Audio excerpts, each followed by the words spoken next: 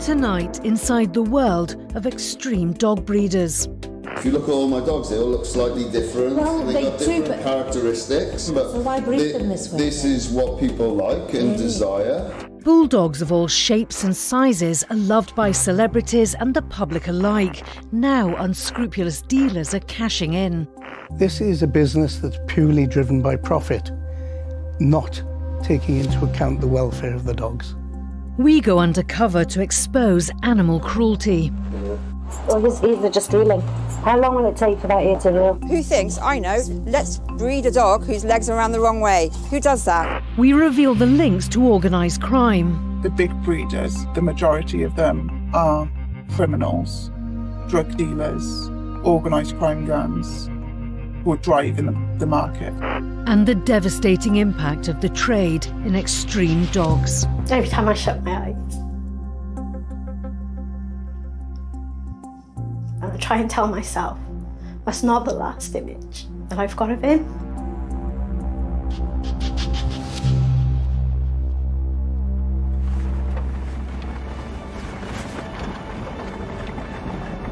Right, I think it's in here. Yep, there we are. Hope rescue. Hello, hi. I'm Sam from the BBC. I'm here for Vanessa. This rescue centre in Wales is at the sharp end of the dog trade, caring for abused and abandoned dogs. Dogs like Keanu, an American bully, Oh my goodness. one of the new extreme mixed breed bulldogs, becoming more and more popular. It's as though his legs are on back to front. Who thinks, I know, let's breed a dog whose legs are around the wrong way? Who does that? There is no surgi- surgical options for him. The vets have said there's nothing we can do about that. How old is he? He's eight months old. He's only eight months. But just look how big he is. Look how thick set he is. This is torture. You you know what these dogs are going to look like, but you're still breeding them, trying to get more and more exaggerated features. I mean, it looks painful when he's bent over like that. Oh. We're seeing this every single week. This is day to day life for us here at the rescue now. Then there's Alvin, also an American bully. Like Keanu, he's a victim of extreme breeding, where dogs are deliberately bred to create exaggerated characteristics.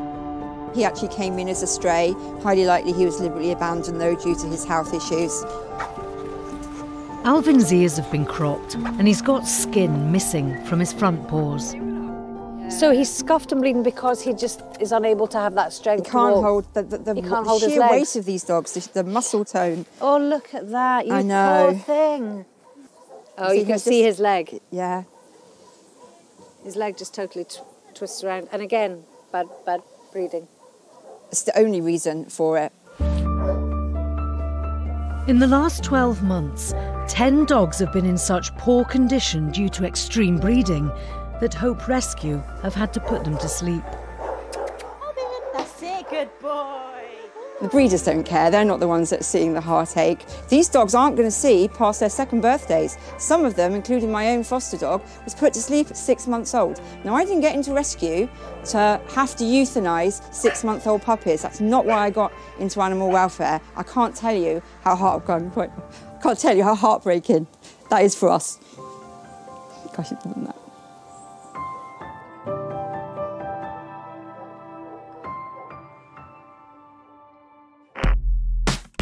Bulldog breeds have become some of the most sought after in the UK. Whether it's the petite French Bulldog with 54,000 new puppies registered in 2021, the flat faced English Bulldog with more than 15,000 registered, or the bigger American Bully, a modern crossbreed. And now, unscrupulous dealers are cashing in. This is Carl and Victoria Shellard. Their business Poshables sold English bulldogs with extreme features. Their dogs advertised on social media for up to £20,000. Two years ago, business was booming for the Shellards. Then they caught the eye of the authorities. First of all, we checked to see whether or not they were registered, which they weren't. But social media and adverts suggested that they were breeding in quite a big way. They were selling to Asia, they were selling to the Far East, they were selling to America. They were selling all over. When investigators raided Poshables, they found a huge operation. Kennel after kennel in the back garden. Boxes in the kitchen for the dogs to give birth in. Even a fertility clinic. It's a, a laboratory, a purpose-built laboratory with a centrifuge, uh, with uh, units to enable him to do the, the stud work and the artificial insemination. Just a walk away from the house to do your business with the dog, probably on a, you know, a milking stool, and then uh, back down for, for tea. There were 27 dogs on site. The Shellards were also creating their own signature English Bulldog with extreme features. The type of dog that they were developing had big rope necks and rolls of fur and looked a really cuddly type of dog. But these dogs were desperately unhealthy. They had respiratory problems and, in a number of cases, weren't fit to be bred from. The Shellards were convicted of animal welfare offences in 2022. They were fined £19,000 each. A proceeds of crime order was issued to recoup almost £400,000 of illegal profit. Despite the conviction, I've discovered the Shellards are still in business. They're no longer selling dogs, but they're still in the extreme breeding game.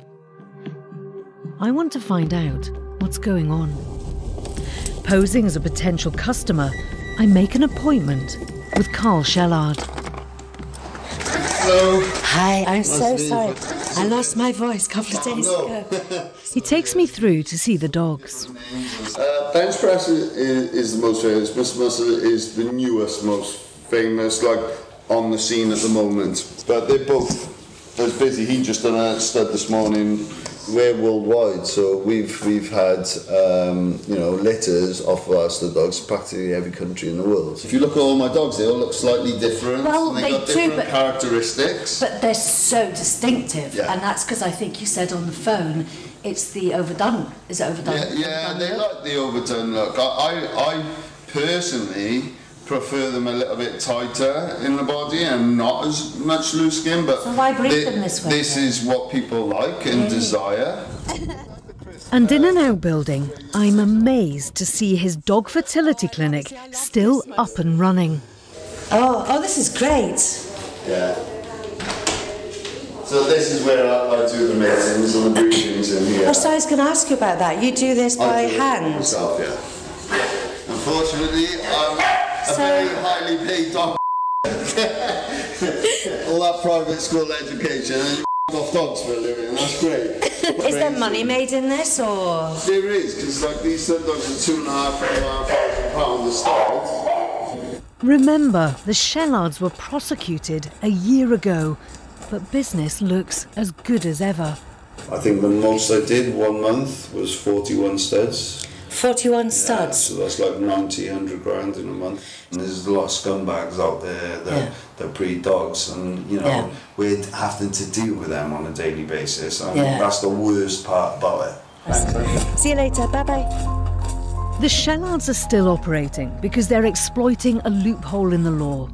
If you run a business selling puppies, you need a license from your council. But if, like the Shellards, you're only breeding from male dogs, then you don't need one at all. We asked Mark Adams Jones what he thought about the Shellards getting back into the dog breeding game. Unbelievable. Carl Shellard is making an enormous amount of money, according to what I've just seen on the footage. He's doing that at the moment within the confines of the regulations. We need to look at things differently. We need to look at the way the breeders are looking at it in order to tighten up on the regulations. Carl and Victoria Shellard didn't respond to the allegations in this programme. It's those lax regulations and huge profits that are now attracting a different sort of extreme breeder linked to organised crime. An animal welfare investigator who's been looking into the bulldog trade has agreed to speak to me. She's worried about her safety, so we're concealing her identity. It's a massively lucrative trade. A multitude of breeders throughout the UK that are linked. What are you seeing? The more extreme dog that you produce, the more money you get. Who are the main people in this network?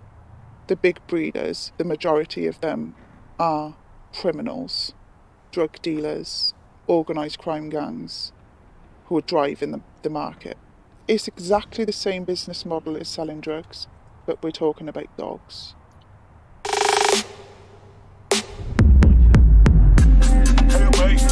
Yes, mate. Yeah, if you go to the left hand side, it'll show you where to park. Top man, thank you. This is the UK American Bully Kennel Club show. It has no connection to the official UK Kennel Club.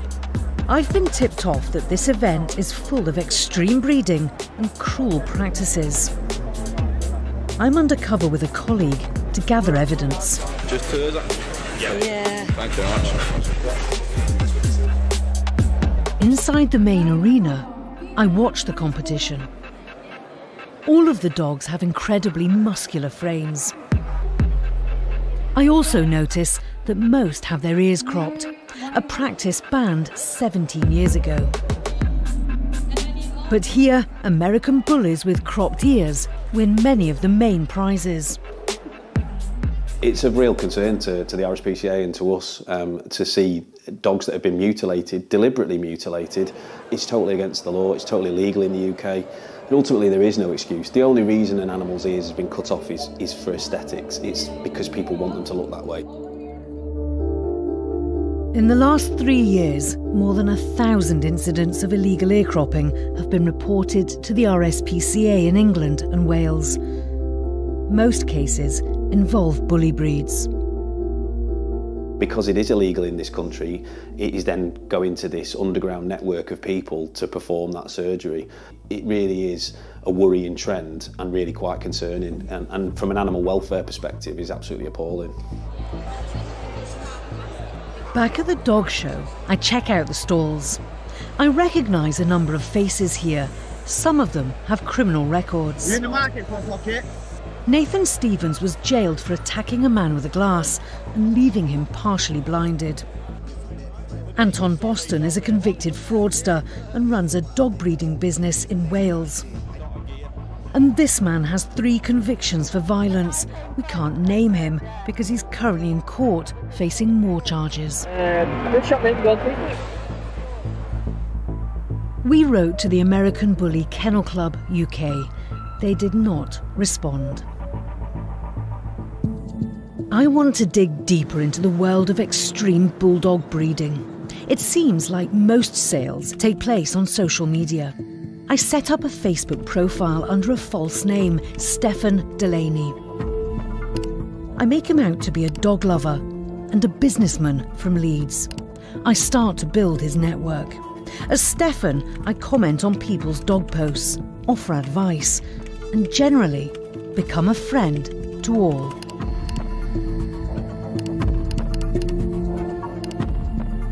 One name catches my eye Aaron Lee. He was an apprentice judge at the dog show. He runs a dog breeding business called Balaclava Bullies. As a judge, you'd think he has high dog welfare standards. But here he appears to be training a dog to attack a man inside what looks like a police van. Aaron Lee promotes the extreme characteristics of his puppies again and again on social media. Little puppy update for everyone. My little mouse. Go strong they are. Get that muscle. I make an appointment to see him. Hello, I'm, I'm with Aaron. Bobber. Hi, Bobber. Aaron Lee is also exploiting the loophole in licensing regulations by just breeding from his male dogs. He tells me he's focused on maximising their extreme features. I just use selected dogs, certain dogs, to lock in certain traits, the bone, the movement, the muscle, everything. I've bred him a couple of times this week, so he's coming back smelling like bitches. And then what would you, for studying, I mean, what do you charge? Three grand next year, I'll, I'll bump him up to five, you see, because he's had a solid year of breeding now. So when when you see what they're producing, Right. then you can tweak with your price. Okay. He takes me inside, and in a back room are two tiny American bully puppies with freshly cropped ears. Oh, how old are they? Ten weeks. Hi. Hi. Oh, his ears are just healing. How long will it take for that ear to heal? Not long, about a week. so- Hello. You're keeping these? Yeah. Okay, thank you very much. Right, okay. Nice Okay, to meet you. See you later. Take care. Bye bye. Aaron Lee seems to be doing pretty well from his breeding business. I show the footage of the dogs with the freshly cropped ears to the RSPCA. So they're 10 weeks old. Yeah, it's. I mean, clearly the fact that you can see they've been caught 10 weeks old, um, that is clearly an offence, and clearly um, these dogs have been cropped uh, in this country. What would the punishment be for that? So up to five years potentially for causing suffering to an animal, and or a lifetime ban, um, and fines, uh, you know, significant fines. Aaron Lee didn't respond to the allegations in this programme. He leads me to the next connection. On Facebook, he regularly tags this man, Thomas Raymond. That doesn't make sense to me because Raymond's in prison. He was jailed for six years in 2021 for running a county lines drugs gang. By this time, my fake bulldog loving profile, Stefan, is getting popular, and he gets a message. It's from Thomas Raymond. I reply as Stefan. I think there's probably two possibilities here. Either someone else is running Thomas Raymond's account on Facebook, or Raymond is messaging me himself from prison. From the Raymond account, I'm sent pictures of two dogs that have produced a litter. The puppies are being offered for sale through a company called Muscletone Bullies UK. And Muscletone is massive. Imagine one big international kennel, but with franchises all over the world. Muscletone is one of the most well known breeding lines in the bully trade. Now, if you look here at the UK arm of the business, that's Thomas Raymond on the left. Now, he seems to own the franchise here in the UK for Muscletone. And then that man on the right, the one with the really distinctive face tattoo, that's a man called Ryan Howard.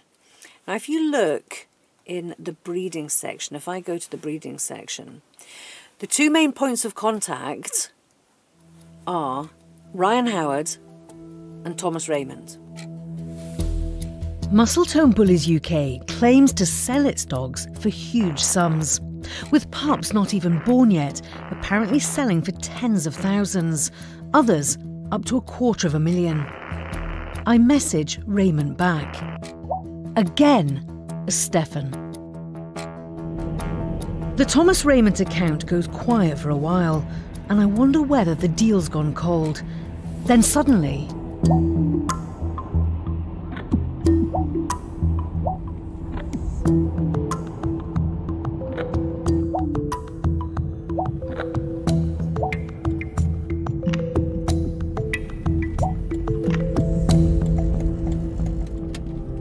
Right, so this is Bridge Street.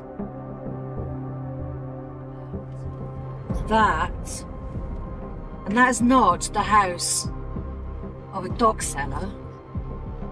That's a fertility clinic. The meeting's been arranged for four o'clock. I'm supposed to be meeting Thomas Raymond. They're expecting businessman. Hello? Stefan Delaney. You alright? Hiya. Come and look at some dogs. Yeah, we were arranged to come at four o'clock. Oh, yeah, yeah, yeah. I'll just get the key. It's Ryan Howard, Thomas Raymond's business partner. I tell him that I'm Stefan's girlfriend and that Stefan's running late. Hey, so how old are they? They are eight weeks now. I try to get to the bottom of who's been messaging me. Oh. Tommy. You're not Tommy. I'm Ryan. I'm the boss of Muscle Tone. Me and Tom were Muscle Tone to go. Yeah. His partners. Tom's not here because he's in jail. I don't tell everybody, but you want to know what it is. I'm not going to lie to you. You've been speaking to Tom. None of them have been speaking to you. As yet. I don't know who Steph's been talking Yeah, to. you've been speaking to Tom. You're sorting everything out with Tom. And the first According to his business partner, convicted drug dealer Thomas Raymond is running a very lucrative breeding business from prison, with the best of the litter going for more than £10,000. If we wanted first pick, how much are we talking? Yeah, well, that one's 12 quid. Male. If you was wanting that mail, I'm not selling. Not no price. I don't need money. I've got loads of money. Ryan Howard is not licensed to breed and sell dogs, but he says he's got a huge network. You've probably got what? About 120. Got a lot of dogs. How do you keep 120 dogs? I only keep about 15 with me. The other dogs are looked after through a network of what's called co-owns, where the dealer gets someone else to house the dog while profiting from any sales. It means that breeders can sell dozens and dozens of puppies without looking after them and without the authorities having any idea. I tell Ryan Howard that Stefan's looking to invest. Co-owning this with me would mean that basically, even if you took the dog, you just look after it. I'll put it for stud and I'll sell it for studs. You've got And then do I get a cut? Do we get a cut? 50 cut. Okay, see you later. Thanks, Ryan. Thank you. Bye. Ryan Howard told Panorama that Muscletone Bullies UK are well known for breeding the highest quality extreme American bullies without compromising the dog's health or well-being. He said our local councils will not register us as breeders as we don't have litters on our premises. He said they'd never co owned a dog as a deliberate ploy to escape the scrutiny of the licensing authorities, and added that Thomas Raymond does not communicate with anyone illegally and has others running his socials. Animal welfare investigators are seeing a growing trend in the practice of co owning dogs. They say it can lead to mistreatment of the animals, and that can be dangerous. These breeders are passing these dogs from pillar to post. One day they could be at a property with 10 kids, the next day they could be at a property left for days alone. These can be dangerous dogs. Although American bullies are not banned, historically they've been crossbred with pit bulls, and they've been banned in the UK since 1991. A woman from Wrexham whose partner's dad died after being bitten by one of their dogs says she feels like she's living in a nightmare. 2022 was the deadliest ever for fatal dog attacks in the UK. Merseyside police say the death of a 17 month old girl after being attacked by a pet dog has left her family and the local community in shock. Ten people were killed, four of them children, last year. American bullies were responsible for six deaths.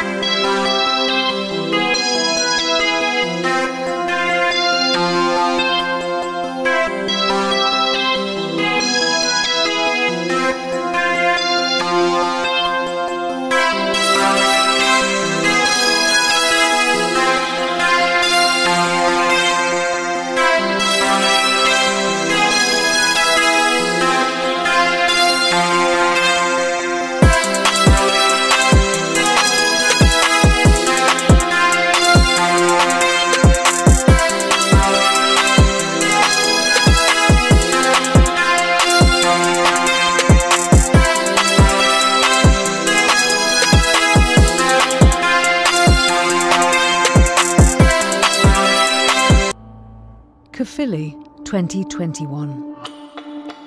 This is Beast, an American XL bully, the largest type of this breed. Beast weighs more than 8 stone by the time he's 15 months old. The man holding the dog can't control it. It jumps up at one child, biting her on the arm. The man repeatedly punches the dog. At one point, it fixates on a young girl. She moves away behind a parked van. When it snaps at the child, the man punches the dog again.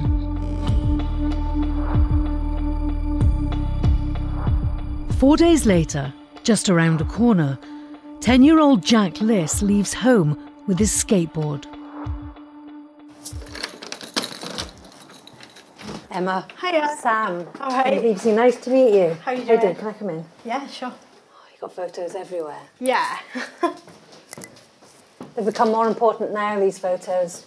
yeah, you don't realise that. No. One of his favourite films was Back to the Future. Okay.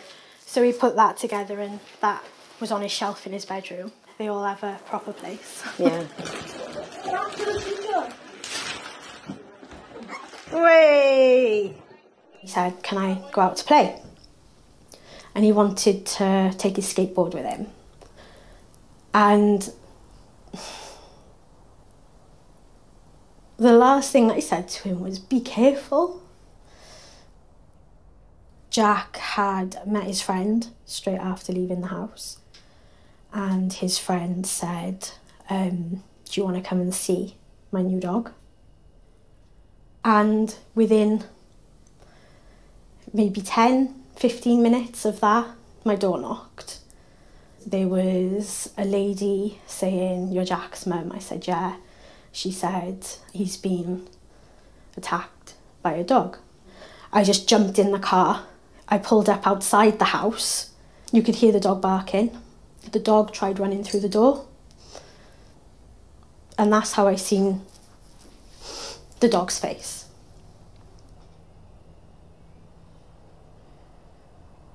The dog had only attacked one part of him, and it was here up.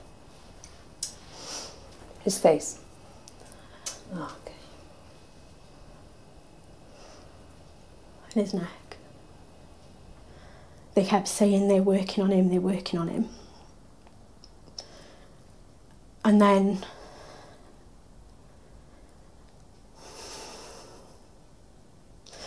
the paramedic walked away and came back with a blanket.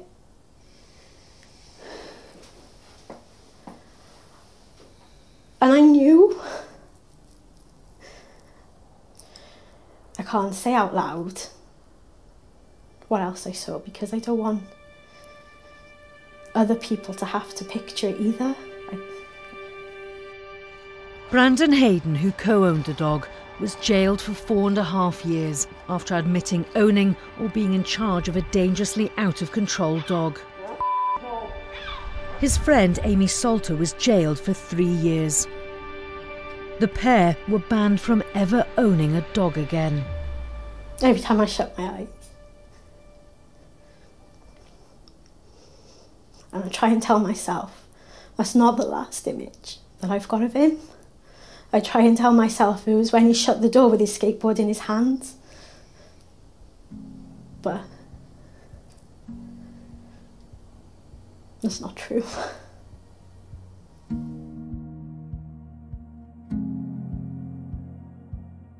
The dog that killed Jack underlines many of the problems with the trade in bulldogs with extreme characteristics. Brandon Hayden wasn't a licensed breeder. He co-owned the dog and he got hold of it through an advert on social media.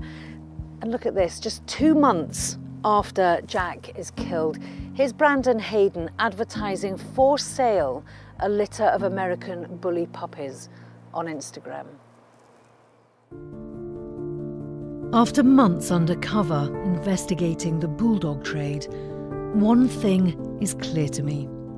As long as the regulations governing dog breeding remain lax, then unscrupulous breeders and criminals are going to carry on cashing in.